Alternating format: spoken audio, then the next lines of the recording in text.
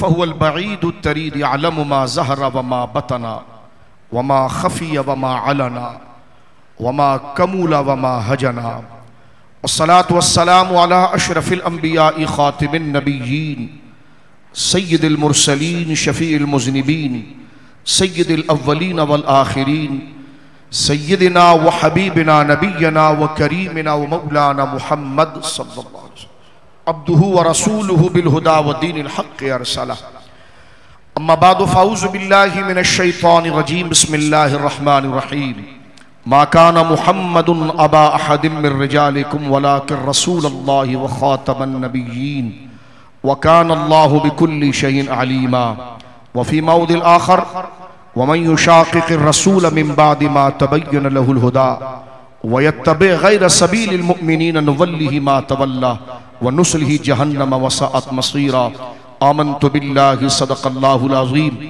बिबरकत इन्नल्लाह व मलाइकतहु युसल्लूना अलन नबिय्य या अय्युहल्लज़ीना आमनू सल्लु अलैहि व सल्लिमू तस्लीमा अल्लाहुम्म सल्लि अला सय्यिदिना मौलाना मुहम्मदिन तिब्बिल क़ुलूबि व दवाइहा व आफ़ियतिल अबदान व शिफ़ाइहा व नूरिल अबसारि व ज़ियाइहा व अला आलिहि व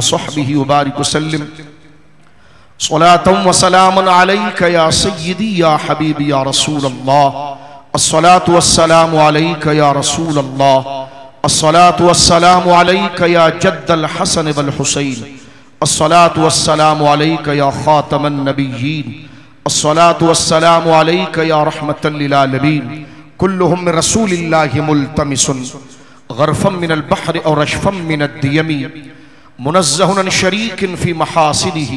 फ़ी फ़जौहरुल हुस्न फ़ीह गैर मुनक़सिमी फनसुब इला ज़ातिही मा शिअत मिन शरफिन फनसुब इला क़द्रिही मा शिअत मिन अज़मी सुम्मा रिदा नबी बकरिन व अन उमरा व अन अलिय्युन व अन उस्मान ज़िल करमी मौला सल्लि व सल्लिम दाइमन सरमदा अला हबीबिका खैरिल खल्क़ कुल्लिहिमी बुझ गई जिसके आगे सभी मशअलें बुझ गई जिसके आगे सभी मशअलें, शम्मा वो लेकर आया हमारा नबी। क्या खबर कितने तारे खिले छुप गए, पर न डूबे न डूबा हमारा नबी। सबसे औला और आला हमारा नबी, सबसे बाला वो वाला हमारा नबी। खल्क से अलिया अलिया से रसुल और रसूलों का आका हमारा नबी। अल्लाह की हमदो सना, नबी मोहतरम, नबी मुआज़म बाईस तख्लीक अर्द समा, सल्लल्लाहु अलैहि वालि वसहबिही वबारक वसलमा की बारगाह मुक़दसा में। इंतहाई मोहब्बत वक़ीदत के साथ दुरुदसलाम पेश करने के बाद तमाम तारीफ़ अल्लाह वहदहुल्ला शरीक के लिए है। जैद कराम के मुबारक और अजीम अफकार को हमने समात किया। अकीदा ख़त्म नबूत के हवाले से करारदातें पेश की गईं। और उसमें इंतहाई अहम तरीन बातें और अहदाफ, जो अकीदा ख़त्म नबूत के तहफ़ के लिए इंतहाई लाजिम और ज़रूरी है, और हमारे मिशन का जो मगज़ और हमारी कोशिशों का जो अंजाम व माल व हदफ है, वो भी हमदिल्ला ताला बड़ी मुस्तनद और मरबूत और मज़बूत मुनजमित कलेमात के साथ करारदाद पेश की गई। कराम ने अपनी मुक़दस आरा और इस मौजू की अहमियत अकीदा ख़त्म नबूत किस कदर ज़रूरी है? मेरे और आपके जिसम में अगर रूह का परिंदा फड़फड़ा रहा है और हमारी एक एक सांस ख़त्म हो रही है और हमने अगले सफ़र की तरफ़ मुतवजह होना है तो हमारी ज़िंदगी के अंदर अल्लाह को राज़ी करने का, वो वफादारी का जज्बा जो ख़त्म नबूत है, उस पर किस तरह पहरा देना है? किस तरह उस पर हमने अपनी ज़िंदगी के अंदर उसको रचाना, बसाना है? अपने गिरद नवा के अंदर उसकी खुशबू को फैलाना है। ये तमाम कराम के अफकार नज़रियात और बड़ी इल्मी और उनकी ज़िंदगी और उनके इल्मी के तजुर्बात जो कई कई किताबों को पढ़कर और कई कई साल इस महाज पर लगाकर वो इत्र जो कशीद किया है, वो शहद जो कशीद किया है, उनके जो मशोरे हैं बेहमदिल्ला ताला, ख़त्म नबूत मोमिन के हवाले से बेहमदिल्ला ताला इस बज़म और इस तंजीम और इस तहरीक के हवाले से इस प्लेटफार्म पर बड़ी सखावत के साथ और बड़ी फयाजी के साथ ओलमा ने अपने तजुर्बात, अपने इल्म का हासिल और रात रात के मुतालों का हासिल और अपनी अंथक मेहनतों का हासिल और उस इत्र को आपके सामने एक एक बुज़ुर्ग आलिम ने कमाल के साथ पेश किया है कमाल दयानत के साथ पेश किया है कमाल समझदारी के साथ पेश किया है। अल्लाह रब्बुल आलमीन जल्ला वाला उलमा का ये गुलदस्ता इसी तरह सलामत रखे। हम में इतफाक रखे अपने मिशन के लिए। इज्तमाहीत अल्लाह रब्बुल आलमीन जल्ला वाला अता फरमाए। लेकिन बिलखसूस हल जजासान के तकाजे पर आज की ये बज्म और तिल का अशरतुन कामिला, ये गोया के दस प्रोग्राम जिस कमाल के साथ और अपनी तमाम तर खिदमात के गोया के अंजाम के साथ अंजाम खैर के साथ बेहमदिल्ला ताला, ये जो दसवां प्रोग्राम है, और दसवा आदत भी, और ग्यारहवा आदत भी, कभी जुफ्त भी रब को कबूल होता है, कभी वित्र भी कबूल होता है। जुफ्त के बारे में फरमाया तिल का अशरत का मेला और ताक के बारे में फरमाया, अल्लाह वित्र वित्रा। तो बेहमदिल्ला दोनों का नज्म यहाँ मौजूद है कि प्रोग्राम दसवां है और शब ग्यारहवीं लग चुकी है। अल्हम्दुलिल्लाह। बेहमदिल्ला ताला तो ये दोनों का संगम और मैं कमाल एहतमाम पर, तंजीम के नज्म पर, एक तंजीम जो एक मकसद को बचाने के लिए आगे चलती है, उसको अपने मकसद को बचाने के लिए कैसी दीवार, कैसी फसील, कैसी बुनियादें, कैसा एहतमाम किया जाता है, कमाल का काम बेहमदिल्ला ताला ख़त्म नबूत मोमेंट ने करके दिखाया, जिसके सरबरा उस्ताजुलमा शेखुल हदीस व तफसीर हज़रत अल्लामा मौलाना मुफ्ती अब्दुल्ला कादरी नूरानी किबला और नूरी दामद बरकातुमलिया के सर जाता है और मैं बगैर किसी ताली के और बगैर किसी तसन्नों के जैत सादाद कराम कसरहमल्ला ताला और अहल सुन्नत कसरहमल्ला ताला, इनकी मौजूदगी में आपकी तरफ़ से तर्जुमानी करता हूँ कि मुफ्ती साहब ने कमाल कर आता है, लेकिन एक धागा सबको जोड़ कर रखता है, यही नज्म जो है वो तंजीम होती है। अलग अलग बंदा काम कर रहा है, लेकिन उससे कुछ भी नहीं होता। लेकिन जब इसको जोड़ दिया जाए तो छोटे से भी लोग, कमज़ोर लोग भी बड़ा काम करके दिखाते हैं। हमने अपने बुज़ुर्गों के पास जब अरबी अदब को सीखते हुए अपने से कुछ किताबें पढ़ी तो उसमें एक अरबी हिकायत यह भी आई कि सात भाई हैं उनमें लड़ाइयाँ हो गई हैं। अब वो इफ्तराक में बाप बड़ा समझदार था। उसने बुढ़ापे में अपने बेटों को बुलाया और हर एक के हाथ में एक एक लकड़ी दे दी और कहा, इसको तोड़ो बेटा। तो हर भाई ने लकड़ी को तोड़ दी। फिर उसने सात भाई तो सात लकड़ियाँ एक साथ जमा की और कहा, अब तोड़ो। अब नहीं टूटती। कहा, यही तंजीम है। यही तंजीम है जब अपना हिस्सा एक प्याले में डालोगे, एक नज्म में डालोगे, एक नज्म के साथ डालोगे, अपना हिस्सा उसमें डालोगे तो एक एक ईंट जब लगती है तो पूरी दीवार बनती है, दीवार तंजीम होती है। एक एक ईंट के साथ, इस्लाम के तहफ़ के लिए हमने आगे बढ़ना होगा। और मैं आपको भी सलाम पेश करता हूँ कि इतना वक्त हो गया, और मैं जिस जानता हूँ इस इलाके को कि यहाँ पर जल्द सो जाने की आदत है। लेकिन उसके बावजूद आपने अपनी नींद को छोड़ा। अल्लाह आपके जज्बे वफादारी को सलामत रखे। आपने कहा कभी सो लेंगे। आज तो हुजूर के निज़ाम और वफादारी की बात है।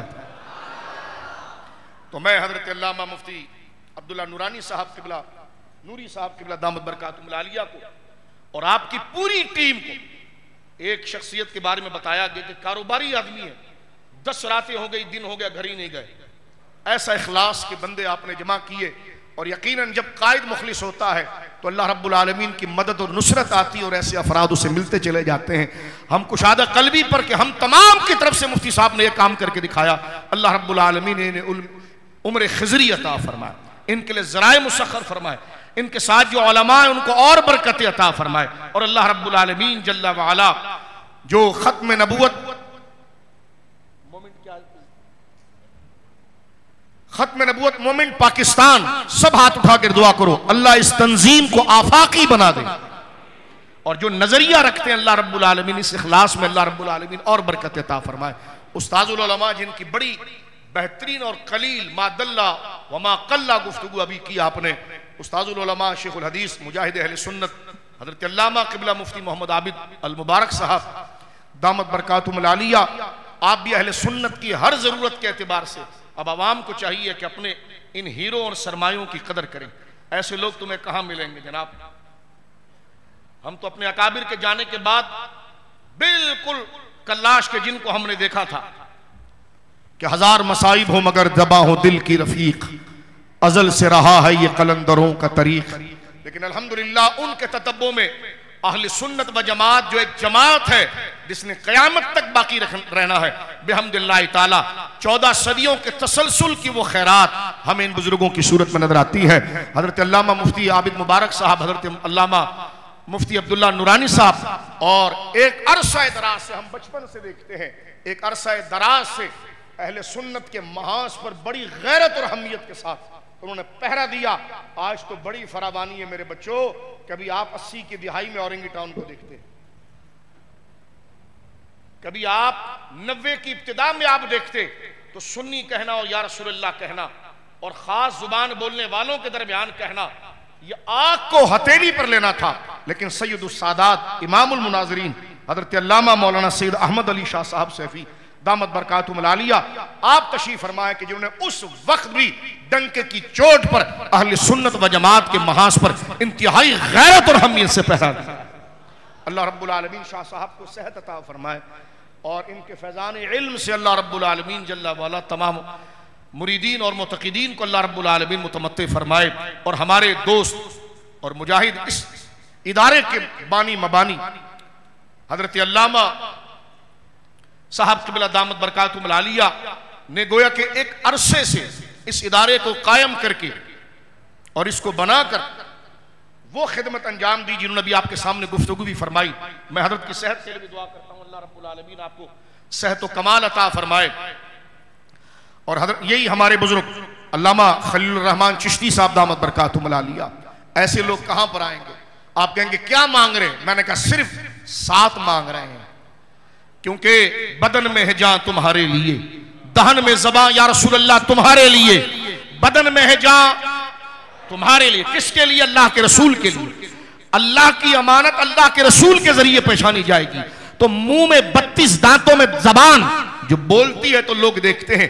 ये जवान अगर आईने के सामने खड़ा हो जाए तो हटता नहीं। खुदा ने इतना लंबा चौड़ा, इतना खूबसूरत इसको बनाया है। तो ये बदन किस लिए है? ये जवान, जवानी किस लिए? ये चौड़ा सीना, ये मज़बूत बाजू किसके लिए? जहाँ खड़ा हो जाए, कोई हटा ना सके। ऐसी मजबूती किसके लिए? तो यार रसुल्ला वो आपके लिए, आपके दीन के लिए, आपके मिशन के लिए मिलकर कहिए, दहन में जबान तुम्हारे बदन में है जा तुम्हारे हम आए यहाँ। तुम्हारे लिए। उठे भी तुम्हारे लिए हज़रत अल्लामा मौलाना मुफक्र इस्लाम उस्ताजुलमा खलीलरहमान चिश्ती साहब दामद लिया और तमाम सादाद कराम कराम जो यहाँ मौजूद हैं अल्लाह रब्बुल आलमीन इनकी दुआ करें अल्लाह इनकी उम्रों में बरकत अता फरमाए। वाकई में आलिम की मौत आलम की मौत होती है। जिस पर गुजरती है उसको यह एहसास हो जाता है। अपने इन बुज़ुर्गों का साथ दें। माल से साथ दें, जान से साथ दें। जान अपने वक्त जाएगी, लेकिन जो तुम्हें तन्हाई की इबादतों में वो अजर नहीं मिलेगा कि जो अजर इस वफादारी के मिशन में खत्म नबूवत हो या तकदीस उलूहियत की पासदारी हो या नामू से सहाबा का की हिफाजत हो या मोहब्बत अहल बैत और एहतराम खानवाद रसूल को तहफ़ देना हो, इनके मिशन के साथ जुड़ने वाला वो होता है कि अल्लाह रब्बुल आलमीन जल्ला वाला गुनाहगारों को माफ़ करता है, गद्दारों को माफ़ नहीं करता। बल्दिया के मुसलमानों और पूरे दुनिया के मुसलमान सुन ले। थोक के हिसाब से गुनाहगार बख्श दिए जाएँगे, इसलिए कि यह हक के खड़ा हुआ। गुनाह नहीं देखे जाएँगे उसके। कसरत से रिवायात और वाकयात इस पर है। गुनाहगारों के लिए मुझसे कोई कहने लगा कि आप गुनाहों पर जर्री बना रहे हैं। मैंने कहा, खबती, मैं उम्मीद वासिफ बता रहा हूँ। गुनाहों पर जर्री नहीं बना रहा। यह उम्मीद वासिक है, रब की रहमत से, कि वो गुनाहगारों के लिए ही तो रहीम है। वो गुनाहगारों ही के लिए तो गफूर है। अहले सुन्नत का तो मज़हब ये है, ये भी है। मेरे दोस्तों, बुज़ुर्गों, अहले सुन्नत व जमात का मज़हब मोतजला, जबरिया के मुकाबले में और मर्जिया के मुकाबले में अकीदा मर्जिया के मुकाबले में अहले सुन्नत का मसलक ये भी है कि सही अकीदा बंदा अगर बगैर तौबा के भी मर गया तो खुदा उसको फिर भी बख्श दे। बगैर तौबा के भी मर गया। अकीदा अगर उसका दुरुस्त था, तौबा का मौका नहीं मिल पाया, ये अल्लाह की रहमत उस अकीदे और वफादारों पर बरसती है कि मरते वक्त अगर तौबा न भी कर सका, लेकिन था अच्छों से प्यार करने वाला।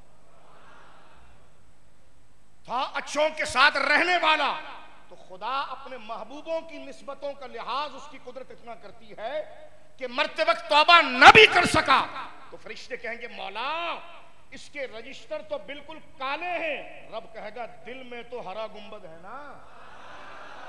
तो हम हम गद्दारों को नहीं बख्शते, वफादारों की खताओं से कुदरत चशमपोशी कर लेती है कि चलो कुछ भी है, दर पर तो हमारे महबूबों के पड़ा रहा ना। लिहाजा ये वफादारी कयामत के दिन इसी वफादारी पर बख्शे जाओगे कि तुमने साहबा की इज़्ज़त के लिए क्या गैरत दिखाई? अहले बैत की इज़्ज़त के लिए क्या गैरत दिखाई?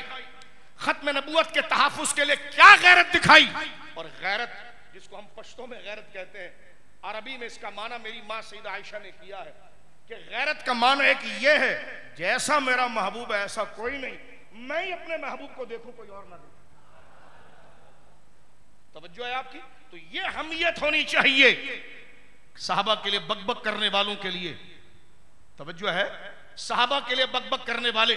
इतनी जबानें इनकी सीनों पर आ गई कि साहबा के लिए बकबक करते हैं।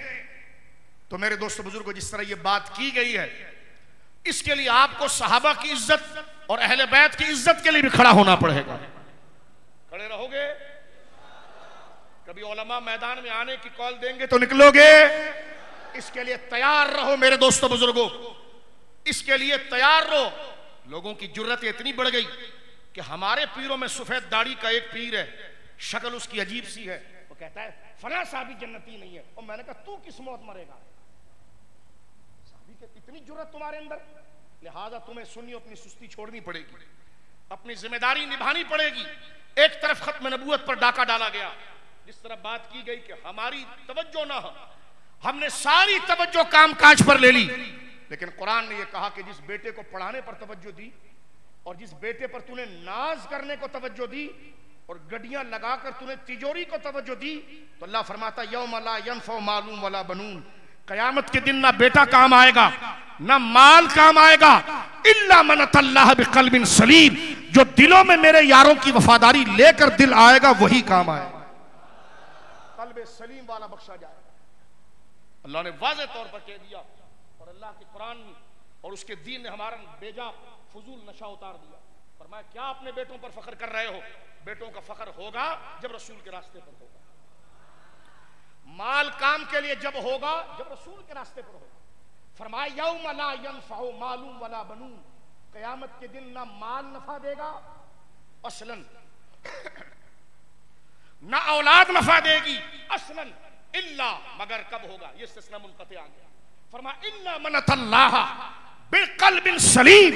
मगर जो कल्ब सलीम हमारे पास लाएगा तो हम उसको भी बख्शेंगे, उसके माल को भी कबूल करेंगे, औलाद को भी कबूल करेंगे। ने एक एक लफ्ज में तर्जुमा कल्ब सलीम का, अल्लाह और अल्लाह वालों के लिए गैरत करने वाला दिल कल्ब सलीम है। अल्लाह और अल्लाह वालों के लिए गैरत करने तेरी हिम्मत क्यों कैसी? तूने साहबा के बारे में बात तेरी हिम्मत कैसी तूने अहले बैत के लिए बात की? तेरी हिम्मत कैसी तूने उलमा के लिए बात की? तेरी हिम्मत कैसी तूने औलिया के लिए बात की? ये जज्बा जिसके दिल में है, वो सजदा शुक्र करे, खुदा जिसको बख्शना जाता है, उसी के दिल में ऐसी गैरत उतारता है। बोलो मोहब्बत से सुबह अल्लाह बात समझ में आई तो अल्लाह के लिए शुक्राने के लिए बोलो सुबह अल्लाह ये तो मैंने जल्दी से एक बात आपके सामने कर दी। अब थोड़ा से मैं जल्दी आगे बढ़कर एक बात अर्ज़ करना चाहता हूँ। तकरीर ख़त्म नबूत के हवाले से बड़ी मज़बूत हैं। मैं उसमें से चंद चीज़ें ज़िक्र करना चाहता हूँ, वरना ये मौजू तो ऐसा है कि फजर तक हम बैठ जाएँ, लेकिन घबराना नहीं। बस थोड़ी देर में ही चंद मोटी मोटी बातें करूँगा, क्योंकि ये आज अल्हम्दुलिल्लाह दसवां प्रोग्राम है। तो नौ प्रोग्रामों में तो ख़त्म नबूत की अहमियत की सारी आयात पढ़ी गई हूँ अहादीस पढ़ दी गई। जिस झूठे ने नबूत का दावा किया, उस मलून की किताबों को, उसकी, उस, उसके खुब्स और उसके फजले का मजमुआ जो है, उसमें से पढ़ के बता दिया गया कि उसकी ज़िंदगी कितनी है। वो आप तसलसल से नौ चीज़ों को गोया कि अच्छी तरह से जानते हैं। लेकिन मैं चंद साजिशों को बेनकाब करने के लिए चंद बातें अर्ज़ करना चाहूँगा। पहली बात तो ये सुन लीजिए आप, गौर से, कि हमने चलना किसके रास्ते पर? आसान सा में इरशाद हुआ। अल्लाह दो लोगों को पसंद नहीं करता। और ऐसा नाराज़ होता है, अल्लाह माफ़ करे कि फिर उनको लौटने का अल्लाह रास्ता भी नहीं देता। ऐसा अल्लाह नारा, क्योंकि गद्दारी इतनी बड़ी वो होती है, तवज्जो है मेरे भाइयों, गद्दारी वो इतनी बड़ी होती है कि अल्लाह फिर तौबा की तौफीक भी नहीं देता। गलती को समझने का कि भाई मुझसे गलती हो गई है, गलती को समझने का भी अल्लाह उसको मौका नहीं देता। यानी हिदायत उससे सलब कर लेता है। कौन? एक जो रसूल से लड़े और एक उम्मत के इजमाही रास्ते को छोड़े। अब देखिए कुरान क्या कहता है। आसानी से। वमई शाक रसूल अमिम्बादिमा तबैनहुदा रसूल ने जब हिदायत को बयान कर दिया और हर मसले को वाजे कर दिया, रब की तरफ़ से खैर बता दिया, फिर कोई रसूल के लिए दिल में कजी रखे, बुग्ज रखे, रसूल से चिड़े आगे अल्लाह फरमाता, और तवज्जो से सुनना मेरे दोस्तों, बड़ा कीमती वक्त है। हमें नहीं पता हमारा इसके बाद क्या हाल है। अल्लाह रहम फरमाए सब पर। लेकिन ये लम्हे जो हमें मिले हैं, ये गैरत और सच को सुनने के हैं, हमारी ज़िंदगी का इंतहाई खुशनसीब मौका है कि आज हम उस सफ में आकर बैठे हैं, जिस सफ को मुड़कर अबू बकर सिद्दीक भी देख रहे होते हैं। ये वफादारों की शब्द। और अभी जो बताया गया कि जिनके ऊपर अल्लाह के रसूल की नायात ऐसे हैं, जैसे रसूलुल्लाह ने उनके पुष्ट के ऊपर अपनी शफकत और मेहरबानी का हाथ रखा है। बोलो मोहब्बत से सुबह अल्लाह। अल्लाह फरमाता है, सुनिए गौर से। दस बातों की एक बात। वयत तब गैर सबील और जो मुसलमानों के रास्ते से हटकर अपना रास्ता निकाले। वयत तब गैर सबील जो मुसलमानों का हमेशा से रास्ता रहा है, कि वो ख़त्म नबूत के बारे में क्या कहते थे? वो नबी पाक की रिसालत के बारे में क्या कहते थे? वो साहबा कराम अफजलियत के बारे में क्या कहते थे? वो अहल बैत के मकाम अजमत के बारे में क्या कहते थे? वो उलमा की कदर शान के बारे में क्या कहते थे? वो कुरान की नुसरत अलिया की मोहब्बत के बारे में क्या कहते थे? मैं ये कह, आज क्या हुआ? मेरी तहकीक है। मैंने कहा, चुप कर बे। ये आयत आज नहीं उतरी है। ये पंद्रह सौ साल पहले उतरी है। पहले ये बता, इस बात को पहले वालों ने कैसे समझा? अगर तेरा समझना उसके बराबर हुआ तो कबूल करेंगे, वरना तेरे समझने को उठाकर फेंकेंगे उनके समझने को रखेंगे कि जिनों के लिए हमने रब से दुआ की थी कि सिरात लजीना नम तालीम या अल्लाह चलेंगे उनके रास्ते पर जिन पर इनाम हुआ तो हम उम्मत के तसलसल पर चलेंगे। एक बंदे की जाति राय पर नहीं चलेंगे। एक बंदे की जाति राय पर? आज देखिए, मेरी, मैं कुरान की आयत से यह समझ रहा हूँ। मैं इस हदीस का यह समझ रहा हूँ। बिल्कुल आप समझ रहे होंगे, समझना चाहिए, गौर फ़िक्र करना चाहिए। लेकिन क्या जैसा आपने नतीजा निकाला है और इस आयत को समझकर जैसा मतलब निकाला है, क्या ये ऐसा ही मतलब इमाम रब्बानी ने निकाला था? क्या ये ऐसा ही मतलब गौसे आज़म ने निकाला था? क्या ऐसा ही मतलब पिछले साहबा अहले बैत ने निकाला था? क्या लगे, नहीं। तो उसको बोलो, चवन्नी गिरी है। वो चवन्नी उठाए और उसको उधर करो। तवज्जो है? क्यों? इसलिए तवज्जो से सुनिए, ये अपनी ज़िंदगी के साथ अगर बाँध लेना जो मुफ्ती साहब फरमा रहे थे अभी अपने दर्द को, ये उसूल अगर बाँध ले तो ना शिया पर हाथ रख सकता है, ना बाबी, ना कादियानी हाथ रख सकता। ये उसूल अपनी ज़िंदगी का बनाए कि वह तबे खुदा नाराज़ किससे होता है? वह तबे जो इख्तियार करता है ऐसा रास्ता। गैर सबील मोमिन जो आज तक मुसलमानों ने इख्तियार किया ही नहीं। अल्लाह फरमाता है, जो मुसलमानों के रास्तों को छोड़कर, मुसलमानों के इजमाही रास्ते को छोड़कर अपने रास्ते की तरफ़ चलता है। अल्लाह इतना नाराज़ होता है। अल्लाह फरमाता वह तबे ही मसीरा। अल्लाह फरमाता फिर हम उसको उसी तरफ़ धकेल देते हैं।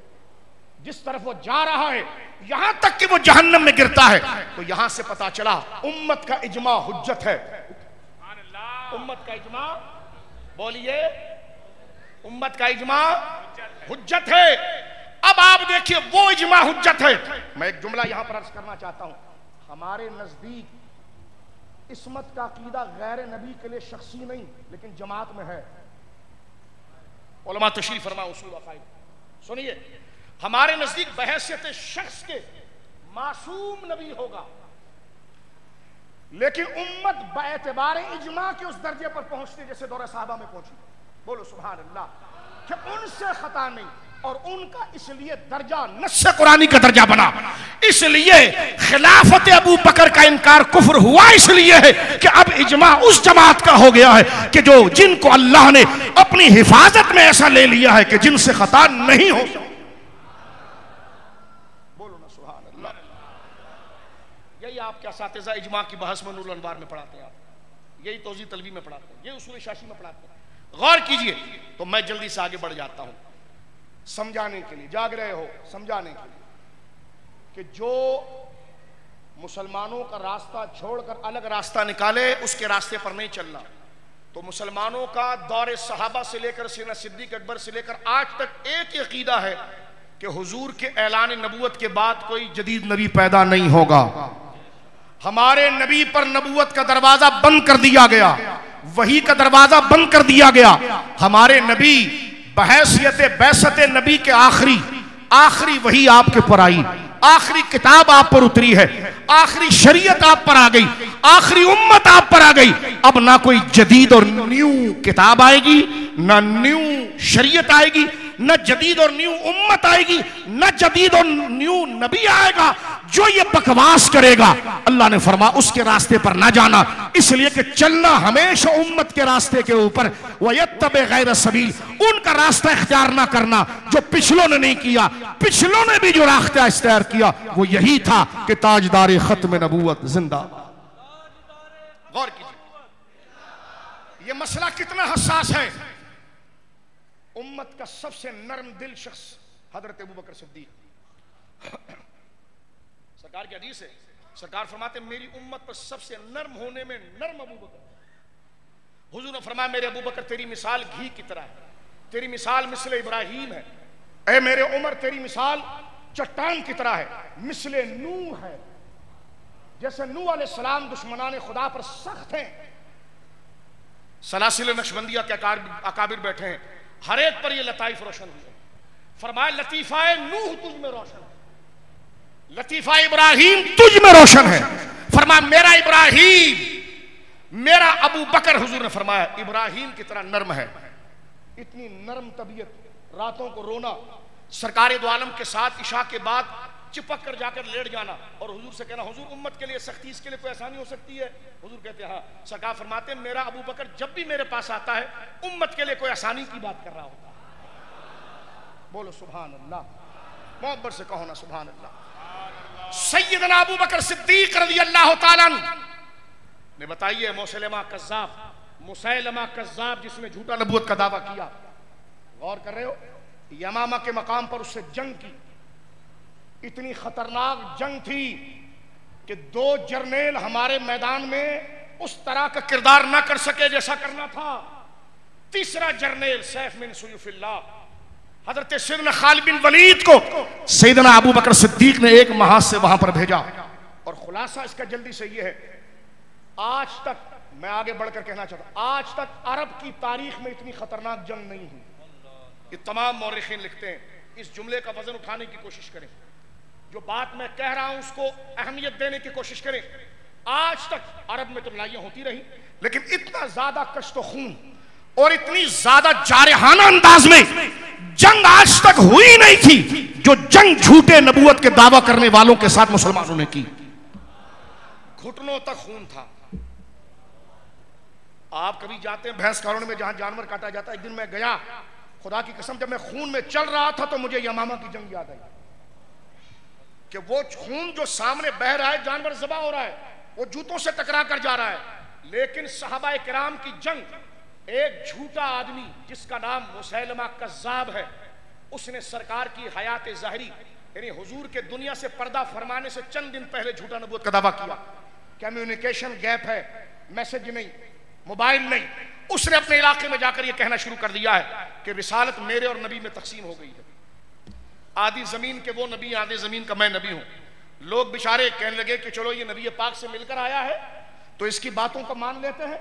लोगों को उसने गुमराह करके झूठी नबूत का दावा कर दिया। यहाँ सरकार ने रफीक आला का सफ़र किया। यानी मज़ार मुकदसा में तशरीफ़ ले गए। हज़रत अबू बकर आए। मैं एक जुमला कहना चाहता हूँ।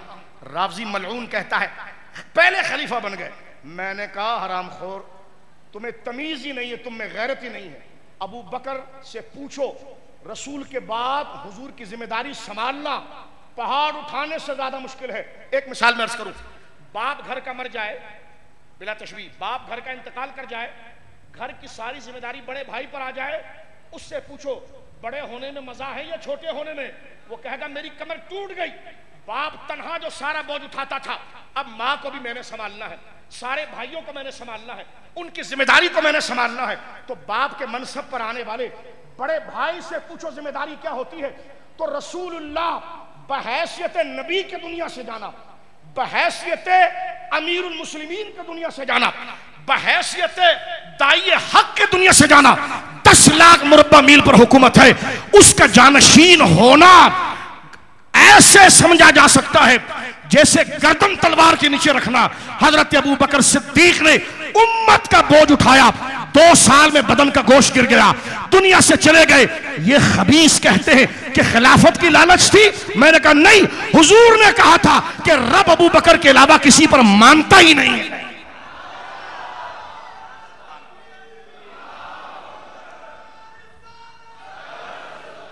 साहबा ने कहा मेरी माँ सैयद आयशा ने कहा, यार सुल्ला, आज जहर उमर पढ़ा दे। फरमाया, आयशा, मैंने कई दफ़ा रब को कहा, कोई और, लेकिन रब और उसके फरिश्ते अबू बकर के अलावा किसी की क्यादत को मानते ही नहीं है। इसीलिए हज़रत उमर जैसा ज़बरदस्त जर्नेल और इमाम, वो कहता है, मैं मुकदमा हूँ। वो कहते हैं, मैं किताब हूँ। मुकदमा अबू बकर था। अबू बकर सिद्दीक अगर ज़मीन को ठीक न करता, उमर एक इंच काम नहीं कर सकता था। फरमाया कि मैं कौन हूँ? फरमाया, काम का बंदा और जुर्रत अबू बकर में थी, जिसने दो साल में सारी सल्तनत को स्टेट कर दिया। मैंने तो सीधे मैदान पर काम किया है। फरमा अगर अबू बकर नहीं होते, उमर एक इंच आगे नहीं चल सकता। यह है अबू बकर बोलो मोहब्बत से कहो ना अल्लाह मैं जल्दी से आगे बढ़ता हूँ, ये दूसरे पार्ट में। और मुख्तसर वक्त में ख़त्म करता हूँ। देखिए, हज़रत अबू बकर सिद्दीक की जंग हुई। सात सौ हाफिज कुरान शहीद हुए। आज सफ़ेद दाढ़ी वाले बूढ़े शख्स हों, लेकिन गैर आलिम, गैर हाफिज हों। उस्ताज मौजूद है, उलमा मौजूद है। एक बच्चा छोटी उम्र का हो और वो हाफिज हो। इंदल्ला कौन अजमत वाला है? वो बच्चा। क्योंकि उसके सीने में कुरान है। उसके सीने में, उसके सामने अगर सफ़ेद दाढ़ी वाले मुअम्मर जो उससे उम्र में ज़्यादा भी हो, उस बच्चे तक नहीं पहुँच सकते। इसलिए कि दीन में फजीलत का मैार तकवा है और ये निस्बतें हैं। मुझे बताइए, आज बूढ़ा सफ़ेद दाढ़ी वाला शख्स एक हाफिज कुरान बच्चे तक नहीं पहुँच सकता।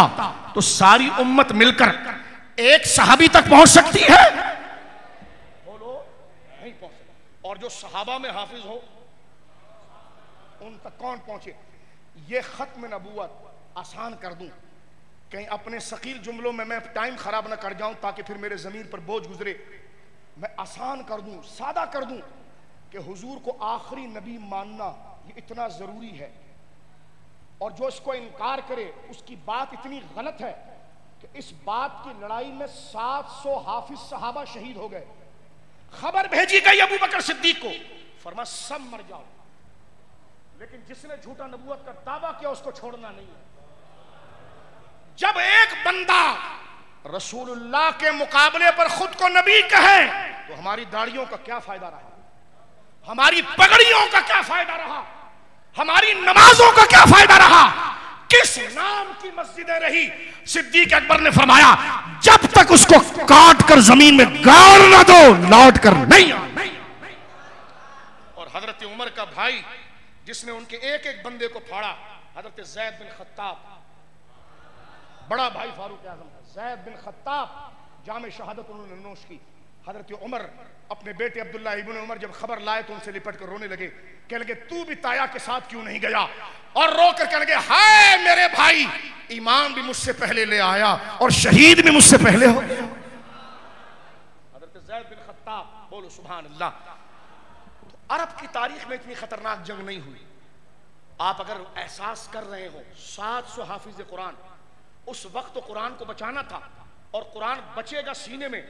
आपने फरमाया, जब हुजूर की खत्म नबूत पर हमला हो तो सब सबको कुर्बान करो। ये इसकी नजाकत और अहमियत है। तवज्जो है? एक बात में आपकी खिदमत में और आप कहेंगे, उम्मत इतनी मुंतशिर क्यों होती है? अगर किसी ने नबूत का दावा कर भी लिया तो ये इश्तियाल क्यों?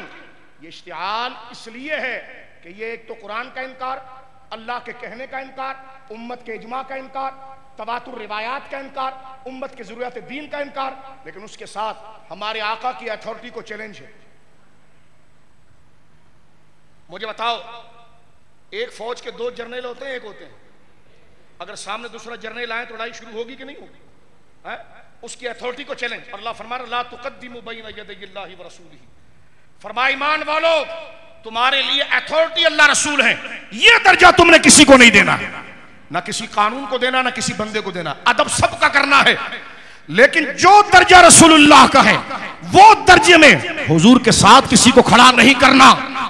फरमाया, अगर कोई कानून भी बन जाए, जो रसूल के कहे के खिलाफ हो, दीवार पर मारना, क्योंकि मुसलमान जब रसूल के आगे गर्दन रखता है तो कानून भी वही मानता है जो हुजूर की ज़ुबान से निकले।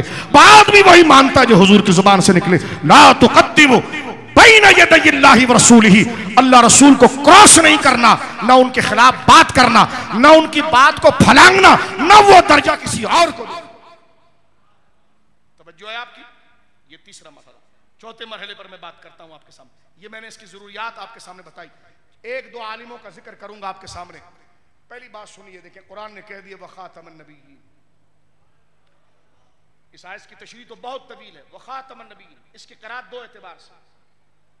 खातम और खातिम, व खातमन नबीन, ता के ऊपर जबर पड़ेंगे। जो कुरान में रिवायत मुतवातिरा है, जो हमारे दरमियान हम मसहफ में देखते हैं वला के रसूल अल्लाह व खौ व खौ तमन नबी व खौ तमन नबी एक किरात इसकी है, जिसमें बड़े बड़े इम्मा एक तरफ़ है, और वो किरात है, वो खौ तिमन नबी ता के ऊपर जबर और जेर ता के ऊपर आप कहेंगे, ये क्यों होता है? इसका एक जवाब, कुरान अरबी जबान में उतरा। अरब के सात से ज़्यादा वो कबीले हैं जो असल अरब हैं।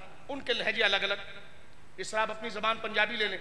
असल पंजाबी होंगे, लेकिन लहजे बदलते हैं। गाँव के एतबार से लहजा बदलता है। पुश्तो हो, लहजा बदलता है। इस गाँव वाला अलग तरीके से सुनाम को याद कर रहा है। उस गाँव वाला अलग तरीके से याद कर रहा है।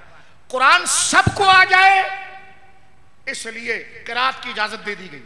लेकिन एक बात समझ लीजिए, एक लफ्ज दो तरीके से पढ़ा जाता है। पढ़ने में तो दो तरीका जायज़ हो सकता है, लेकिन तर्जुमा दोनों का एक ही होगा। फ़र्क जरा समझिए आप, मैं आगे बढ़ रहा हूँ।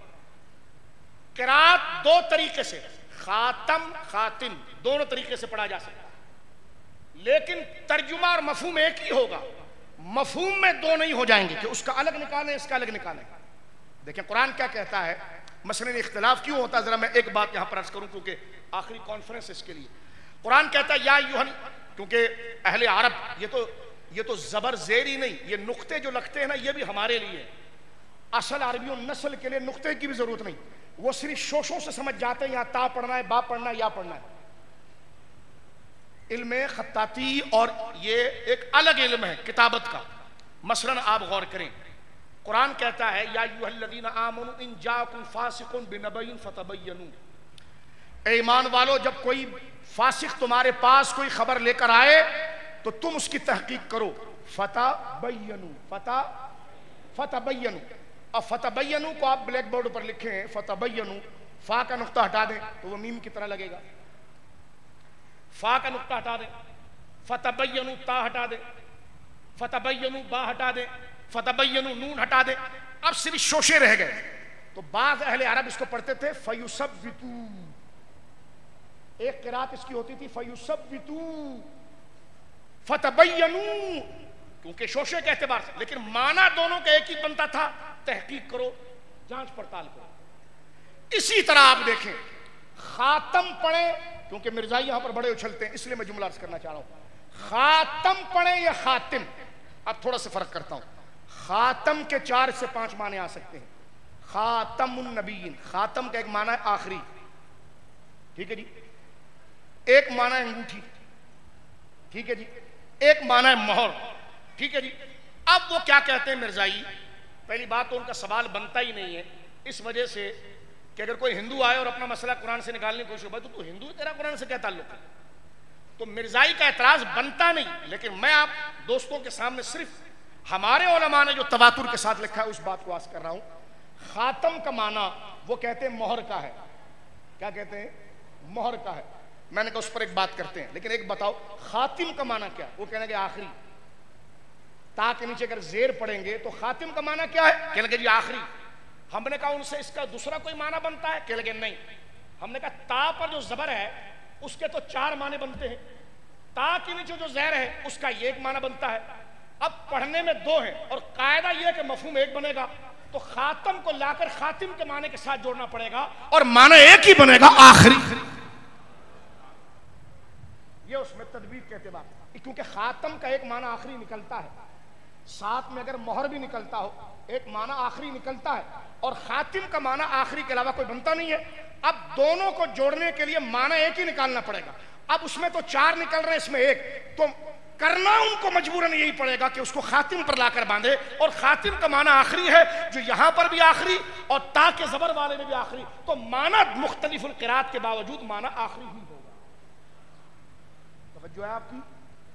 और फिर कुरान को हमने लगत से थोड़ी समझना है। हमने तो रसुल्ला की ज़ुबान से समझना असल बात ये, कहते कुरान अरबी में उतरा। तो मैंने कहा, उमर कौन थे? अरबी थे ना? कुरान अरबी में उतरा। लेकिन अहले अरब भी उसके माने को जानते नहीं, खास माने को। जब तक रसूल उसको वाजे ना करे, अगर हर बंदा अरब होने के बावजूद अगर कुरान को समझ सकता तो नबी को भेजने की ज़रूरत क्या थी? तवज्जो है आपकी? एक जल्दी से मिसाल आपको देता हूँ। देखें सूर्य बकरा के अंदर शहरी इफ्तारी का एक वक्त है। अल्लाह फरमाता है कि कब तक सहरी करो सूर्य बकरा में? कब तक खाओ? अल्लाह फरमाता है, जब तक खाओ, जब तक काले धागे के ऊपर सफ़ेद धागा गालिब ना आ जाए। खैत असवद पर खैत अबियत गालिब ना आ जाए। खैत अरबी जबान में धागे को कहते हैं। खैत अरबी जबान में धागे को कहते हैं। असवद काले को कहते हैं अब यद सफ़ेद को कहते हैं। एक सहाबी जो अरबी हैं, वो घर के अंदर गए बुखारी में है। अपने तकिए के ऊपर दो धागे रखे उन्होंने। तर्जुमा बिल्कुल ठीक कर रहे हैं। खैत असवद काला धागा, खैत अबियत सफ़ेद धागा। हंसना नहीं, मसले पर गौर करना। लतीफा नहीं सुना रहा हूँ। दीन पढ़ रहा हूँ। हंसना नहीं, मसले पर गौर करो। हंसोगे तुम मज़ाक समझोगे तो बात दिमाग में आएगी नहीं। ये मज़ाक नहीं है, ये दीन बढ़ाया जा रहा है हदीस बता रहा हूँ बुखारी अब वो रात भर बैठकर देखते रहे कि अल्लाह ने तो फरमाया है कि काले धागे पर सफ़ेद धागा जब आ जाए, उसका रंग चढ़ जाए। सुबह हुई काला का काला रहा, सफ़ेद सफ़ेद रहा। गए सुबह हुजूर के पास और कहने लगे यार अल्लाह कुरान ने जो ये फरमाया अली सलाम तो काला तो काला ही रहा, सफ़ेद सफ़ेद ही रहा। हुजूर बहुत मुस्कुराए और हुजूर ने फरमाया, खैत असवद से मुराद रात है और खैत अबियत से मुराद फजर है। देखिए, अरबी है, लेकिन अरबी के बावजूद शारे अपना माना लेता है उससे, अपनी इस्तेलाह लेता है। तो लिहाजा खातमुन्नबीन के माने के लिए हमें लगत के पास जाने की ज़रूरत नहीं। के रसूल खातमुन्नबीन का क्या माना है? तो सरकार हदीस में फरमाते, अना खातमुन्नबीन ला नबी आबादी मैं खातमुन्नबीन हूँ। क्या मतलब? ला नबी आबादी मेरे बाद कोई नबी नहीं? तो खातम का माना क्या हुआ? आखिरी। कहीं पर ईंट की मिसाल दी, वो आखिरी ईंट में हूँ। ऐसे जैसे बच्चों को समझाया जाता है। तवज्जो है आपकी? तो ये पूरा माना घेर कर सामने आ गया। तो हुजूर सैयद आलम सल्लल्लाहु अलैहि वसल्लम आखिरी नबी है। और कोई कहते हैं, एक फितना ये भी उठ गया कि हुजूर अगर आखिरी नबी है तो फिर हुजूर अव्वल तो नहीं रहे। ये बात खपतियों ने ये भी शुरू कर दिया था कि हुजूर फिर अव्वल तो नहीं रहे, क्योंकि जब हुजूर अगर पहले नबी बना दिए गए हैं तो बाद में बाद में जो नबी आए तो कादियानी एतराज़ करेगा। तो लिहाजा ऐसा करो कि हुजूर को चालीस साल पहले नबी ना मानो। ये भी गलतियाँ लोगों को लग गई। जबकि एक हदीस वहाँ पर ठीक ठाक खड़ी है। सरकार फरमाते कुल तो अव्वल नबी फिल खल्क। मैं नबी बनाने के एतबार से पहले हूँ और भेजने के एतबार से आखिर हूँ। खत्म नबूत का कीदा हुजूर के बाद नया नबी नहीं आएगा। ये बात कब की है? जब हुजूर को बाकायदा जिस्म और रूह के साथ दुनिया में भेज दिया गया और हुजूर ने ऐलान कर दिया। तो इस ऐलान के बाद कोई नया नबी, मिर्ज़ा कहता, ईसाई, हज़रत ईसा आएँगे। मैंने कहा, तुझे खपती घोचू समझ में नहीं आ रहा, मैं कह रहा हूँ, नया नबी इसी तरह कासिम नानोतवी ने उनके लिए रास्ता खोला था कि बाद जमाने नबी को नबी पैदा हो जाए। नबी पैदा हो जाए। मैंने कहा, जो आला हज़रत ने लिखा है, ये जदीद नबी मानते उन्होंने कहा, जी, ये जदीद कहाँ से आ गया? हमने कहा, पैदा का माना क्या होगा? जो पैदा होगा, जदीद होगा या पुराना होगा?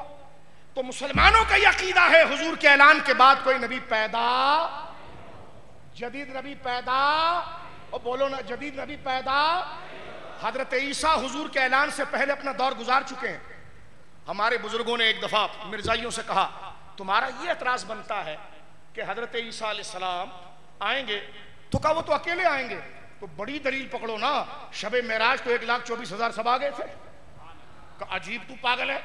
अगर इससे तेरा अकीदा साबित होता है तो एक लाख चौबीस हज़ार वाली पकड़। एक वाली क्यों पकड़ता है? तू कहता जी हज़रत ईसा आएँगे। तो हमने कहा महराज की रात पे सब नहीं आए थे, कहा गए थे। तो मैंने कहा, पगले फिर वो पकड़, अगर तेरा नज़रिया है। जब उससे तेरा, जब एक लाख चौबीस हज़ार आने के बाद भी तेरा अकीदा नहीं बनता तो तनहा ईसा सलाम जाने से कैसे साबित कर देगा? इसकी एक दलील है, लेकिन बात को मैं यहाँ पर अब वाइंड अप करता हूँ मेरे दोस्तों। बर सगीर के अंदर यह सहरा हज़रत मुजद्दिद साहब के सर जाता है। हाय हाय, हिंद में वो सरमाया मिल्लत का निकहबान बोलो ना सुबहान अल्लाह ये मुबारक महीना उनके उनके उर्स पाक का महीना, इसलिए मैं सलाम पेश कर रहा हूँ। इकबाल ने क्या लिखा जब उनकी मजार मुकदसा पर गया? है? सरहद मुकदसा में, हाजिर हुआ मैं शेख मुजद्दिद की लहत पर। वो खाक के जेर फलक मतल अनवार। बोलो ना सुबहान अल्लाह उस खाक के जर्रों से शर्मिंदा सितारे, उस खाक में पोशीदा है वो साहिब असरार। गर्दन न झुकी जिसकी जहांगीर के आगे, जिसकी नफस गर्म से है। गर्मी हरार, वो हिंद में सरमाया मिल्लत का निगहबान। अल्लाह ने किया जिसको बर वक्त खबरदार। बोलो सुबह अल्लाह। हज़रत सैदना मुजद्दद अल्फसानी, सरकार इमाम रब्बानी ने अकबर को सबसे पहले एड़ी लगाई। अकबर वो मलून है, जिसने बर्र सगीर में झूठे नबूत के दावे करने वालों में पहला नंबर था। अगर मुजद्दद अल्फसानी, और सुनो, आज ये मिंबरों पर जो अजाने हो, गूंज रही है ना, इसके पीछे साया मुजद्दद अल्फसानी का है। बीस से इक्कीस साल की उम्र में पहली किताब अकायद नबूत पर लिखी, इस बात नबूत और खत्म नबूत का मसला उधर साबित किया अकबर के रास्ते को रोका, पूरी रियासत को रोका, जहांगीर को रोका। तब जो है आपकी, ये वो मुहाफिजीन खत्म नबूत है। मैं तकरीर को एंड पर ला रहा हूँ, इसलिए इन अकाबिर का ज़िक्र कर रहा हूँ। इनको याद रखो और मुँह नहीं चलाना। कभी बुज़ुर्गों की महफिल में, यानी बुज़ुर्गों के ज़िक्र में मुँह में गुटका पान ना रखना। दिल और सख्त हो जाए। जहाँ खैर का काम करना वहाँ गलत करेगा तो और सख्त हो जाएगा। ये याद रखना हमेशा। ये हाल और तरबियत की बात है। ये तेरा मुँह चलाना बता रहा है कि तुझे मौजूद की अहमियत नहीं। नहीं आता तो अच्छा था। शायद दूर से तुझे डर लगता कैसा नहीं करना चाहिए। आक अगर अहमियत नहीं देगा तो दिल पर मोहर लगेगी। अल्लाह महफूज फरमाए, अपनी आदतों को दुरुस्त करें। महफिल में आदाब, महफिल के आदाब ज़िक्र किसका है? कोई भी ज़िक्र करे। आपने ये नहीं देखना कि ये इल्म में कम है या ज़्यादा। बात बड़ों की कर रही है तो बोलो सुबह अल्लाह। वरना कब्ज लगेगा रूहानी। इल्म नफा नहीं देगा। कब्ज लग जाएगा रूहानी। अगर जात पर आया, कोई भी बुज़ुर्ग बात करे, बात पते की करे, बच्चा भी करे, कहो अल्लाह नहीं, मैं बड़ा आलिम हूँ, मेरे, मुझे भी हदीस आती है। तो भाई, हदीस तुझे आती पढ़ उसने दी, बात तो ठीक हो गई ना। बोलो ना सुबहान अल्लाह बात को मैं समेट रहा हूँ मेरे दोस्तों। हज़रत फसानी, मुहाफिजीन खत्म नबूत का पहला नाम पाको हिम के अंदर। बोलो सुबहान अल्लाह बर सगीर में बड़ी बड़ी हस्तियाँ। ताजदार गोला आला हज़रत पीर महली शाह साहब रज़ी अल्लाह का नाम लिया गया। बड़े बड़े अकाबिर का नाम लिया गया। सबसे पहले जिसने कादियानी को घेरा है ना, वो इमाम मुतकलमिन गुलाम दस्तगीर कसूरी है।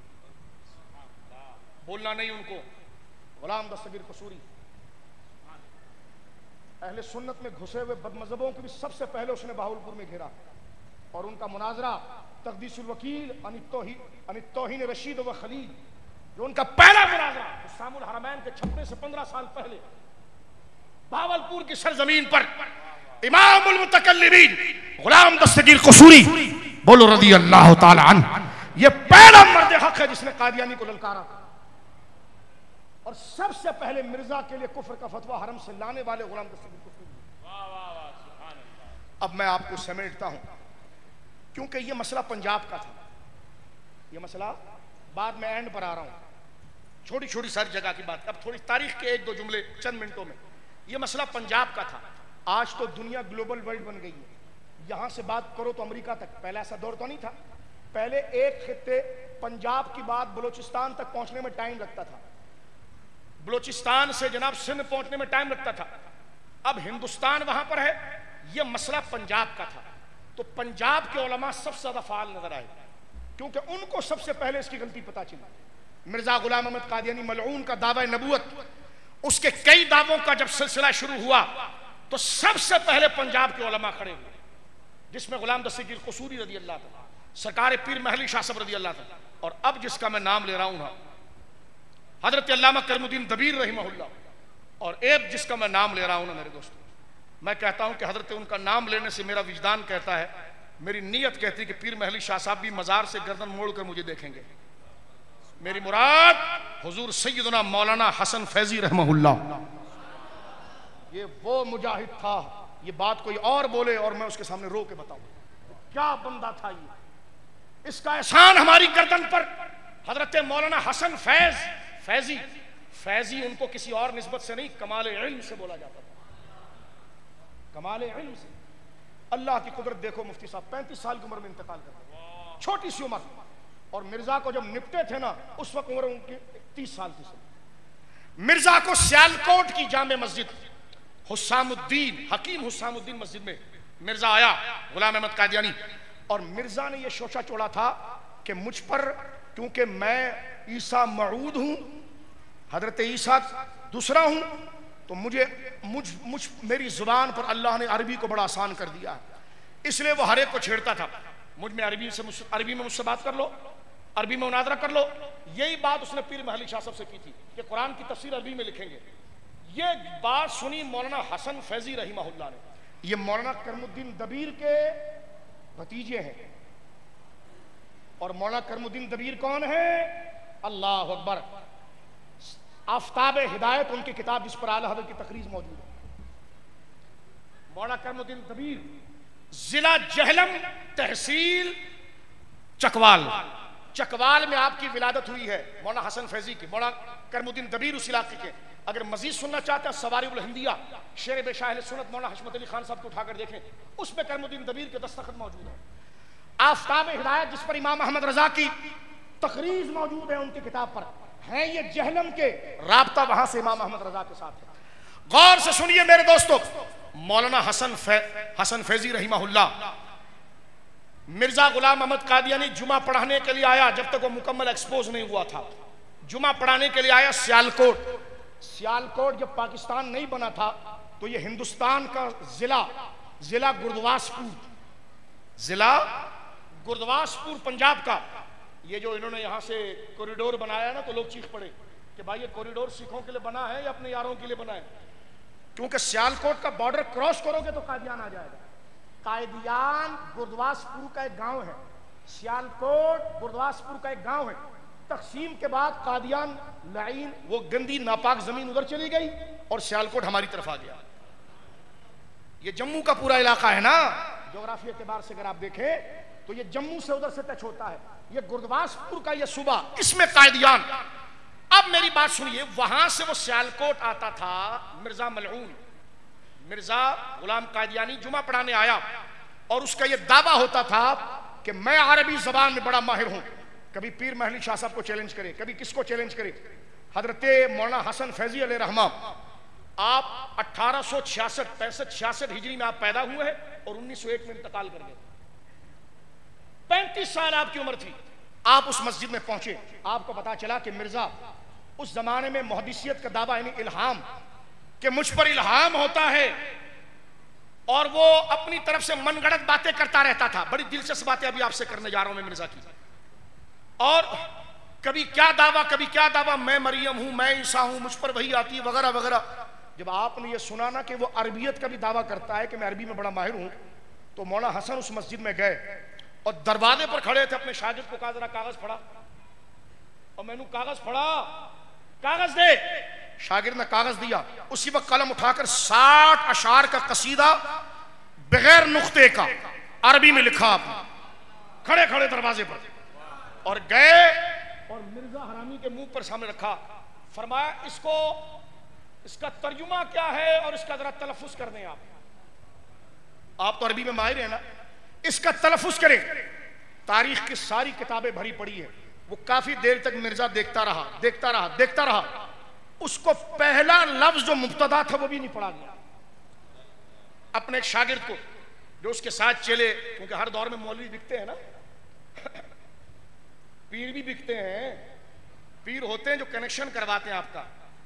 क्योंकि ज़ाहिर सी बात है कि अब वो जाली प्लाट, जाली बिल्डर अभी गवर्नमेंट से सर्ट करवाना है ना कनेक्शन तो पीरी वाला होलिया पूरा रखते हैं कभी शेख रशीद की हराम खोरी को दीन का, दीन में सफ़ाई देने के लिए स्टेजों पर बिठाते हैं। तवज्जो है? तो ये मुल्ला फजल के ऐसे लोग हैं और हमें इनके सामने मुजद्दिद वाला काम करना चाहिए। असल शरीयत के रुख को बचाने के लिए। और बेगैरत खुद को नक्शबंदी भी कहते हैं, जुल्म देखे खुद को नक्शबंदी भी कहते हैं। और दीन के साथ दलाली अकीदा अफजलियत के खिलाफ धोखा उन लोगों को स्टेज पर बिठाते हैं जिनका सुबह शाम काम अफजलियत के खिलाफ भोंकना होता है और खुद ऐसे हिजड़ों की तरह गर्दन झुकाते हैं। मैंने कहा, पीरी हिजड़े की तरह नहीं, कभी सीना उठाना भी तरीकत होता है। ये सीना झुकाकर कौन सी तरीकत है? अकीदा तुमने बेच डाला तो जो है आपकी?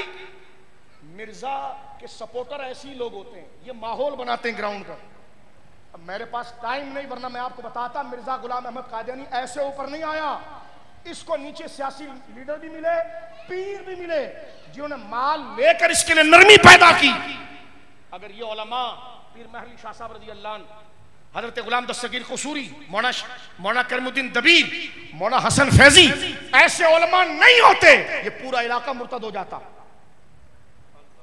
मुल्ला फजल खुद मुल्ला फजल खुद अकबर को बताता था कि मुता हलाल है, फलाना हलाल है, फलाना हलाल है। खुद अगर मुजद्दिद का इल्म ना होता मेरे आका का, मुजद्दिद फसानी का इल्म ना होता, बर्रे सगीर सारा मुर्तद हो जाता। लेकिन सुनिए, हज़रत मौलाना हसन जब आए और आपने मिर्ज़ा के सामने एक पेपर रखा और मिर्ज़ा को कहा, ये मैंने कसीदा लिखा है, अभी लिखा है, ताज़ा लिखा है। किताबत भी देख ले, बिल्कुल ऐसी है जैसे कातिब लिखता है। पढ़ने में कोई जहमत नहीं होगी। लेकिन उस कसीदे में बगैर नुख्ते के इतने बड़े आलिम थे वो अगर उन्होंने जो अरबी लिखी ना तो उसमें ऐसा कोई हर्फ नहीं लिया जिसमें नुकता हो जैसे बा नहीं लिया ता नहीं लिया सा नहीं लिया जीम नहीं लिया खा नहीं लिया शीन नहीं लिया जाल नहीं लिया जा नहीं लिया जा नहीं लिया गैन नहीं लिया फा नहीं लिया काफ नहीं लिया या नहीं लिया तो बचा क्या फिर अबे बचा क्या फिर भाई उतने ही चंद हरूफ से आपने साठ साठ बंद का कसीदा लिखा अरबी में। आज भी वो छपकर मार्केट में मिलता है। मिर्ज़ा के सामने गए, कहने लगे, तू अरबी का बड़ा दावा करता है और तू कहता है कि मेरे नबी होने की दलील ये है कि मैं बहुत अच्छा अरबी हूँ। तो फरमा, पहली बात तो ये नबूत की दलील ही नहीं, इसलिए कि अरबी तो अंग्रेज़ भी बहुत अच्छा बोल लेते हैं। आपने ये बात की कि कितने हिंदू गुजरे जिनकी अरबी अच्छी है। तो अरबियत अच्छी अरबी लिखे वो नबी हो जाए, ये दावा कैसे हो सकता है? और मेरी, वो कहता था, मेरी अरबी का कोई जवाब नहीं दे सकता। मौला हसन ने कहा यह दावा सिर्फ़ कुरान करता है।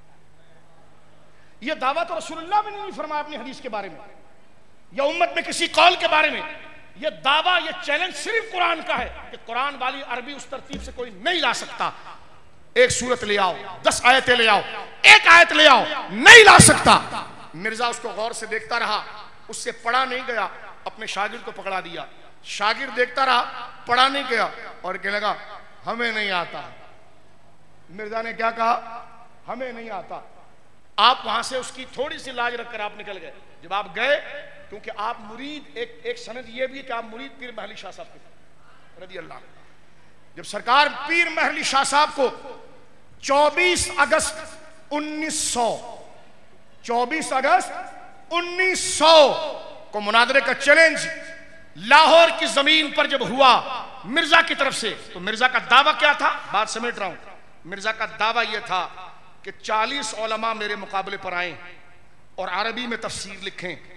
बगैर नुख्तों के हरूफ का इस्तेमाल हो, मुझ हज़रत सरकार पीर महली शाह साहब रज़ी अल्लाह गोरड़ा से तशरीफ़ ले आए। आप जब लाहौर आए, जिसमें इमाम अमीर मुजाहिदीन हज़रत खादिम हुसैन रजवी रज़ी अल्लाह तन जिस मदरसे के बाद में शेखुल हदीस और मुहाफिज रहे, दारुल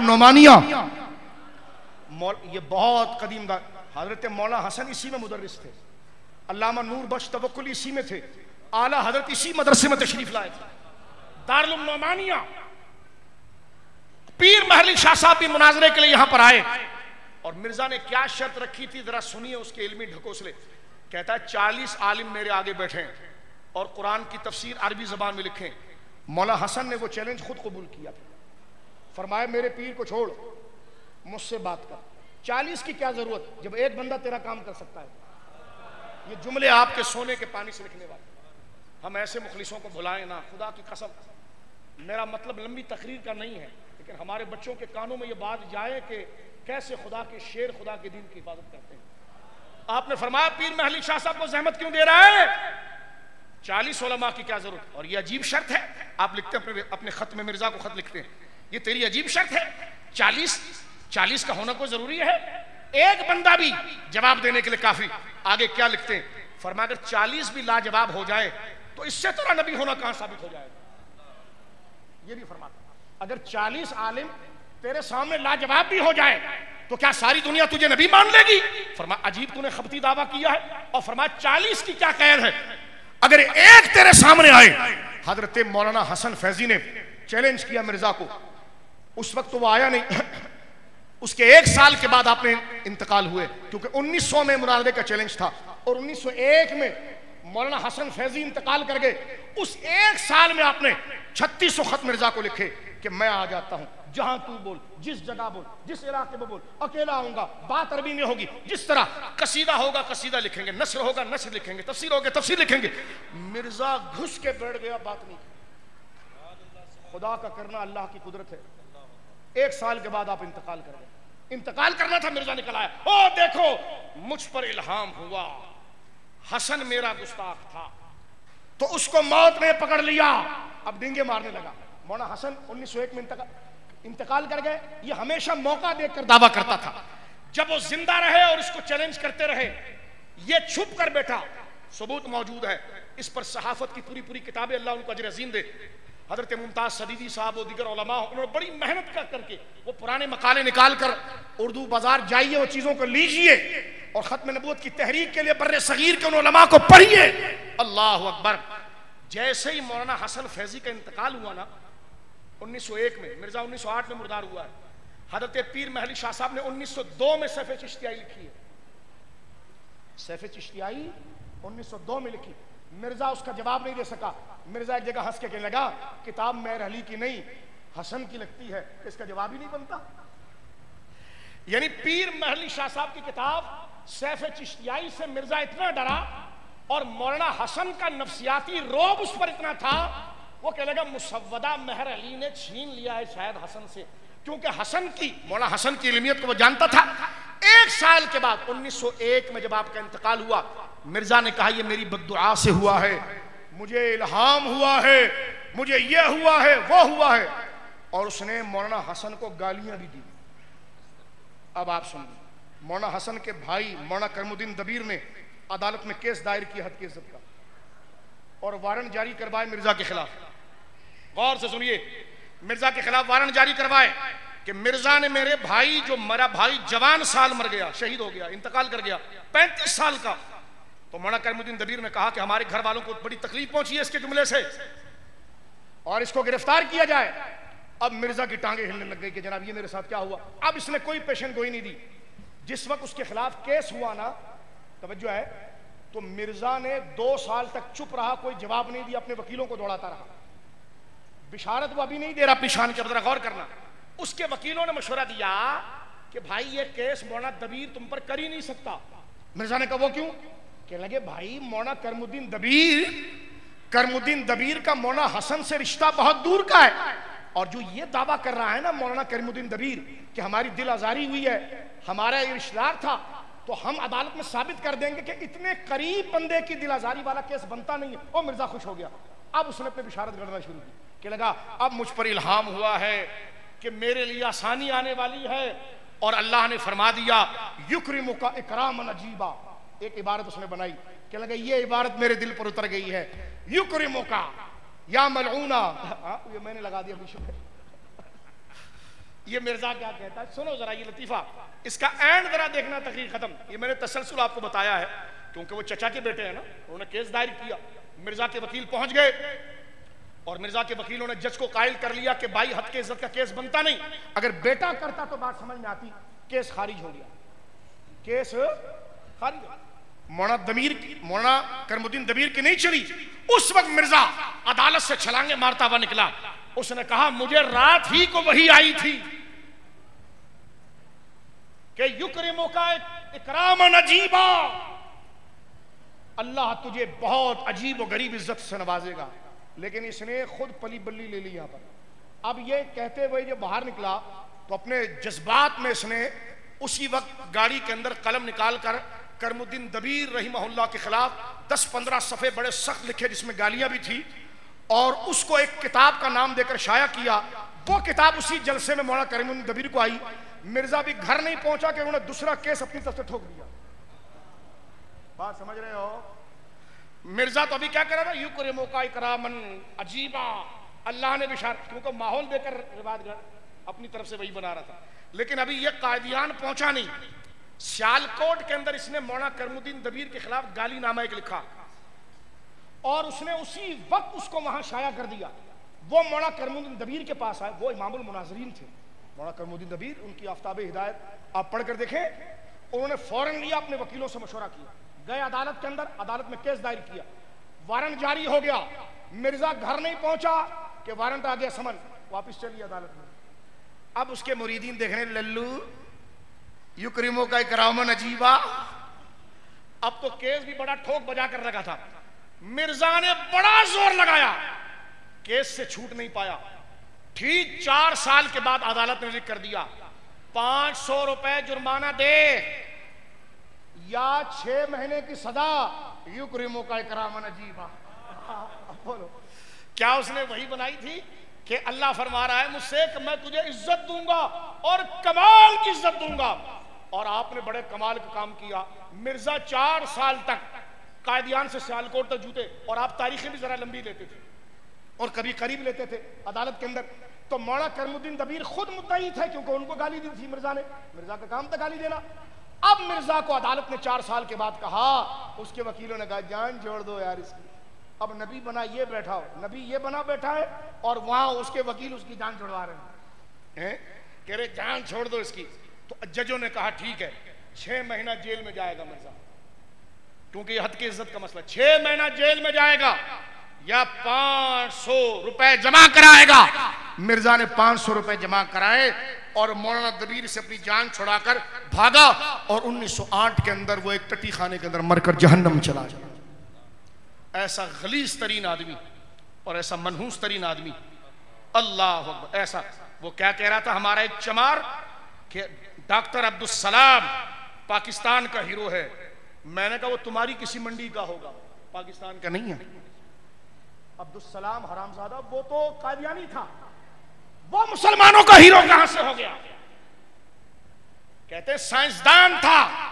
मैंने कहा, जालिमो, तुमने गवर्नमेंट स्कूलों पर कब्जा किए, गवर्नमेंट कॉलेजों पर कब्जा किया, गरीब के बच्चों को पढ़ने नहीं दिया। आज अगर हमारी सियासी जमातें एजुकेशन को बिज़नेस ना बनाएँ और गवर्नमेंट इदारों को औताक ना बनाएँ और गरीबों को पढ़ने दे तो अब्दुल सलाम की हैसियत क्या है?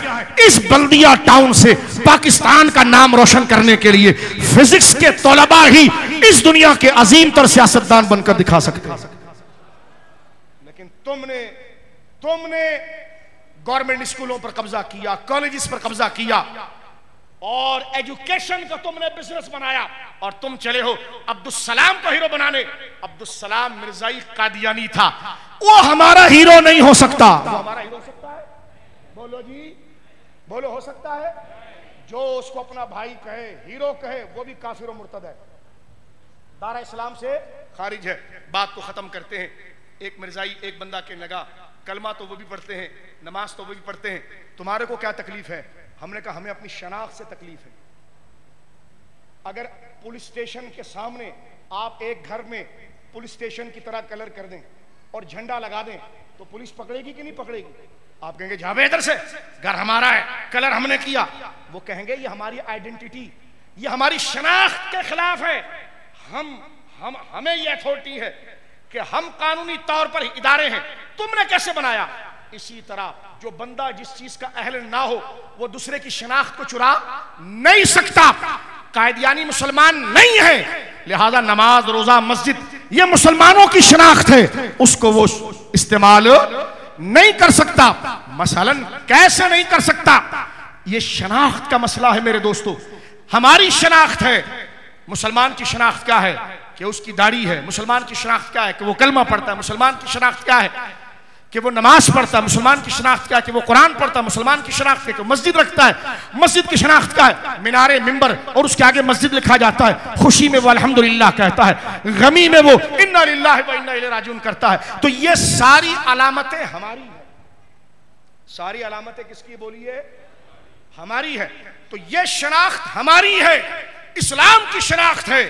ये मिर्ज़ा गुलाम अहमद कादियानी के मानने वाले इस्तेमाल नहीं कर सकते। देखो, हिंदुओं से हमारा झगड़ा नहीं होता। ईसाइयों से नहीं होता, इसलिए कि अपनी मंदिर को मस्जिद नहीं लिखते। अपने गुरुद्वारे को मस्जिद नहीं लिखते। वो अपने गुरुद्वारों, मस्जिदों में, चर्चों में कुरान नहीं रखते। तवज्जो है? वो अपना नाम मुसलमानों के नाम पर नहीं रखते। उनकी अलग पहचान, हमारी अलग पहचान। तो जब पहचान अलग अलग है तो फिर झगड़ा नहीं हो सकता। लेकिन जब जब वो उसकी पहचान ही नहीं है, वो इस्तेमाल करेगा तो आप झगड़ा करेंगे। आपके प्लाट पर अगर कोई दावा कर दे कागजात आपके पास है, और वो खुद जाली कागज़ बना कर ले आए तो झगड़ा होगा कि नहीं होगा? तो मिर्जाई इस्लाम में कब्जा ग्रुप बनकर आता है।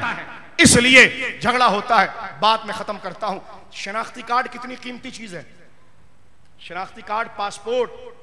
बोलिए आपकी सिटीजनशिप का ऐलान है कि आप पाकिस्तानी हैं? अगर आपको इदारे, पुलिस, रेंजर्स, अफवाज, दिगर लोग अगर रोकते हैं, आप शनाख्ती कार्ड दिखाते हैं? ओके जी, सर, सलाम चलिए। ऐसा होता कि नहीं होता?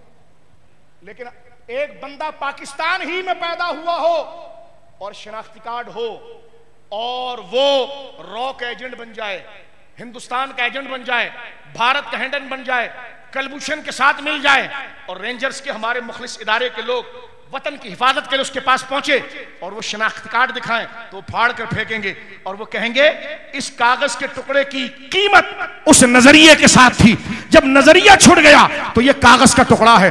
तो नमाजों की कदर खत्म नबूत के साथ है। कलमों की कदर खत्म नबूत के साथ है। रोज़े की कदर खत्म नबूत के साथ है। मस्जिदों की कदर खत्म नबूत के साथ है। अगर खत्म नबूत का अकीदा नहीं तो वो नमाज़ भी सिर्फ़ एक एक्सरसाइज है। असल में वो नमाज़ बनी नहीं। लिहाजा कलमों से मुतासर होने की ज़रूरत नहीं, बल्कि कलमा पढ़ने की उन्हें इजाज़त भी नहीं। हमने ये सोचा, मैंने अपनी जानब से चीदा चीदा ऊपर के चंद पॉइंट ही आपको गिनवाए और तारीख का एक हल्का सा मैंने सफ़र आपको करवाया। सरकार इमाम रब्बानी से लेकर, इमाम मोहम्मद रजा से लेकर हज़रत गुलाम दस्तगीर कसूरी से लेकर मौलाना करमुद्दीन दबीर से लेकर मौलाना हसन फैजी अल रहमा तक ये सफ़र चला। फिर ये 1953 में हज़रत गाजी मिल्लत अब्दुल सत्तार खान न्याजी के सर आया और 1974 में अल्हम्दुलिल्लाह कायद मिल्लत इस्लामिया इमाम शाह अहमद नूरानी सिद्दीकी नवर अल्लाह मरकदोह का किरदार था और मौजूदा हाल के अंदर अमीर मुजाहिदीन, हज़रत खादिम हुसैन रजवी रही का ये काम है। लिहाजा हम इन तमाम मुखलिसों को सलाम पेश करते हैं। जिन्होंने हमारे अकीदों की हिफाजत की, बोलो सुबहान अल्लाह हम सलाम पेश करते हैं इमाम रब्बानी को, बोलो सुबहान अल्लाह हम सलाम पेश करते हैं इमाम मोहम्मद रजा को, बोलो सुबहान हम सलाम पेश करते हैं इमाम मुतकलमीन मौला गुलाम दस्तगीर कसूरी को, बोलो सुबहान अल्लाह हम सलाम पेश करते हैं मुजद्दिद वक्त आला हज़रत पीर महल शाह साहब को। हम सलाम पेश करते हैं चकवाल और जहलम के ये अल्लाह के शेर मौलाना करमुद्दीन दबीर को हम सलाम पेश करते हैं। हज़रत मौलाना हसन फैजी को हम सलाम पेश करते हैं। हज़रत अल्लामा शाहमद नूरानी को हम सलाम पेश करते हैं। हज़रत अब्दुल सत्तार खान न्याजी को हम सलाम पेश करते हैं। हज़रत मौलाना हामिद बदायूनी को हम सलाम पेश करते हैं। गजाली जमा को हम सलाम पेश करते हैं। इन तमाम अकाबिर को शेखुल हदीस, हज़रत अब्दुल मुस्तफ़ा अजहरी को और उन तमाम को, जिनका हम नाम न भी ले सके, उन तमाम को सलाम। और सलाम हो मौलाना खादिम हुसैन रजवी रही को, इन तमाम जमात को, और उन तमाम के तवसत से, इन अकाबिर को सलाम हो। और ख़त्म नबूत मोमेंट पाकिस्तान के तमाम अरकान, इनके साथ मदद करने वाले, इनके साथ चलने वाले, अहले मोहल्ला, अहले इलाका, हमारी बहनें, हमारी माएँ, हमारे दोस्त, हमारे नौजवान, तमाम को हम सलाम पेश करते हैं कि क्या खबर, कितने तारे खिले छुप गए, पर न डूबे, न डूबा, हमारा नबी, सूफी ये क्या है अच्छा सूफी सादिक रजा अशरफी साहब, ये नेक लोग वो हैं कि जिन्होंने ये मेहनतें की, बोलो सुबह अल्लाह देखो, अगर हम अच्छे नहीं ना तो अच्छों के लिए अच्छा सोचेंगे तो अल्लाह हमें भी अच्छा करेगा। हैं? अच्छों के लिए अच्छा सोचेंगे तो अल्लाह हमें अच्छा करेगा। हमने कुछ भी नहीं किया है, बैठे माइक पर बात की, चले गए। लेकिन जिन्होंने काम किया, उनकी तारीफ़ रसूलुल्लाह की मोहब्बत के लिए कि उन्होंने हुजूर के दीन पर पहरा दिया।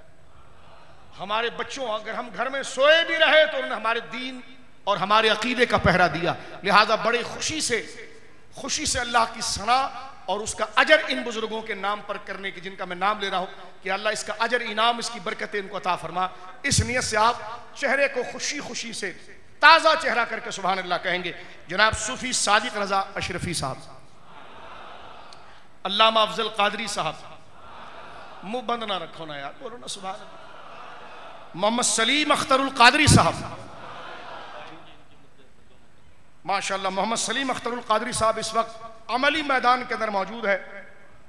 और इदारों को यहाँ पर नोट करने वालों को भी देखना चाहिए कि कानून और शरीयत और अखलाक के दायरे में गुफ्तु हुई। मुफ्ती साहब इतना बड़ा काम कर रहे हैं, एक आवाज़ लगाए तो आग लग सकती है, लेकिन ये मुल्क हमारा है। तो हम कानून के रास्ते को नहीं छोड़ेंगे, हम अदालतों के रास्तों की तरफ़ जाएँगे, लेकिन तुम किसी और के जूते में दाल खाने के चक्कर के अंदर हक का रास्ता ना रोकना, दलाइल को देखना, हकाइक को देखना। बोले सुबह अल्लाह मोहम्मद सलीम अख्तर कादरी, बोलो सुबह अल्लाह अल्लामा राशिद कादरी, बोलो ना मुँह खोल के सुबह अल्लाह मुँह से खोल के बोलो सुबह अल्लाह और आज जाकर घर में जाने से पहले एक दफ़ा लिख लेना। कहना, या अल्लाह, आज मैंने तेरे बंदों की तारीफ़ तेरे और तेरे नबी के लिए की है सुबह अल्लाह और फिर इसका अजर क़यामत और कब्र के अंदर देखना, सैयद फ़हीम शाह साहब किबला, बोलो सुबहान अल्लाह हज़रत अल्लामा, उस्ताद मुफ्ती अब्दुल्ला नूरानी साहब किबला, हज़रत अल्लामा मुफ्ती आबिद साहब किबला, सैयद अहमद शाह साहब किबला, हज़रत अल्लामा खलील रहमान चिश्ती साहब किबला। और ख़त्म नबूत मोमेंट पाकिस्तान के तमाम अफराद बोलिए हाँ माशा हमारे इस मिल्लत और हमारी इस तमाम जद्दोजहद की रीढ़ की हड्डी।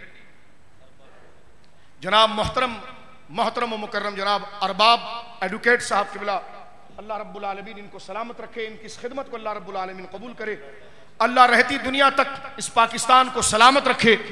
पाकिस्तान को अल्लाह रब्बुल आलमीन जल्ला वाला इस दाखिली और खारजी फितरों से अल्लाह महफूज रखे। कुत्ता घर में आ जाता है ना तो घर को नहीं तोड़ते। कुत्ते को भगाते हैं। हमने कोई शिद्दत वाला नज़रिया अख्तियार नहीं किया। हमारे आइन में जो कायदियानियत को अकलियत करार दिया गया है, वो अपने अकलियत के दायरे के अंदर रहे। अगर वो चाहते हैं हमारे साथ जुड़े तो मिर्ज़ा पर लानत भेजे, सरकार का सच्चा कलमा पढ़े। हमारी मस्जिद के दरवाजे भी खुले हैं और हमारे सीने भी उनके लिए खुले हुए हैं। अल्लाह रब्बुल आलमीन इस बज़म को अपनी बारगाह में कबूल फरमाए, मोहब्बत से कहिए सुबहान अल्लाह। और आखिरी बात, सबसे औला और आला सबसे बाला ओ बाला हमारे नबी पर हाथ उठाइए। सबसे औला और आला सबसे बाला वो बाला बुझ गई जिसके आगे सभी मशाले शम्मा वो लेकर आया।